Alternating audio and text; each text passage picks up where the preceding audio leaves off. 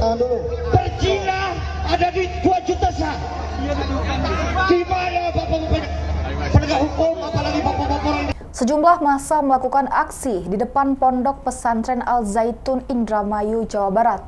Masa yang melakukan unjuk rasa mengatasnamakan Forum Indramayu Menggugat atau FIM. Mereka memprotes dugaan ajaran sesat yang diajarkan ponpes tersebut. Mengetahui adanya demo, pimpinan Ponpes Al Zaitun Syekh Panci Kumilang pun menyiapkan pengamanan ekstra. Pengamanan yang dilakukan pihak Ponpes Al Zaitun mulai dari pembuatan pagar keamanan hingga menyiapkan pasukan anjing herder. Anjing herder yang disiapkan merupakan anjing milik Divisi Keamanan LKM Rahmatan Lil Alamin yang sudah terlatih. Selain itu, pihak Ponpes Al Zaitun juga menyiapkan masa tandingan untuk menghalau warga masuk ke kawasan pondok.